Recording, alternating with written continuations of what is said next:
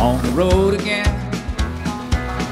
Just can't wait to get on the road again.